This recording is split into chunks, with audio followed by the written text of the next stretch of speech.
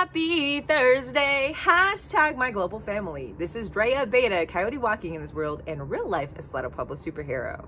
I am also proud to be a two-spirited indigenous warrior with roots from Laguna, Acoma, and the Philippines. Dear family, I am pastor of Coyotes Lodge, House of Spirituality, Critical Race Theory, and Medical Marijuana. Our services will be later today. Today for our daily prayer family, we are asking our ancestors for their blessings and guidance and to have the strength to take a break. Yes, I said have the strength to take a break family. How often in this dog eat dog world of capitalism and deadlines and having to give our blood, sweat, tears, and all of our family time in order to make a living, we are stressed and we are pushed beyond human limits. So I'm asking you, family, this coyote needs you.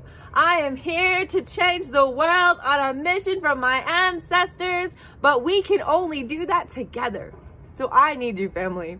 I need you to rest. I need you to take a break. I need you to take some self-care time because it does none of us good to run ourselves ragged. When we are exhausted and pushed beyond human limits, we turn angry. We turn mean we get defensive and we start to lose our minds, family. I don't want us to get there. I want us to be healthy. I want us to have balance in our lives. And that only comes when we take a break.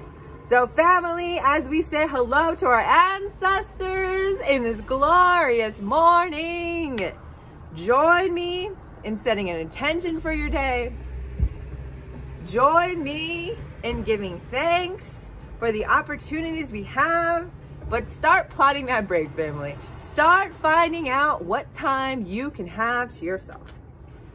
Dear Gammy, Papa, great grandpa, ancestors, and all who've gone before us, who loved us and treated us with respect, allow us to find moments of peace.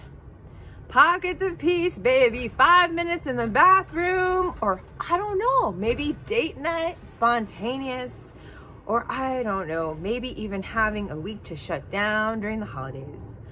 Dear Gammy, Papa, and Great Grandpa, we have been burning all of our fuel. We have had very little time to rest and recharge our batteries, and yet we are still leaders of our communities, parents, grandparents, teachers, nurses, healthcare professionals, Uber drivers, and we make the world run. But allow us to have that moment of peace. We are all superheroes fighting for the abilities for our families to thrive and survive during COVID.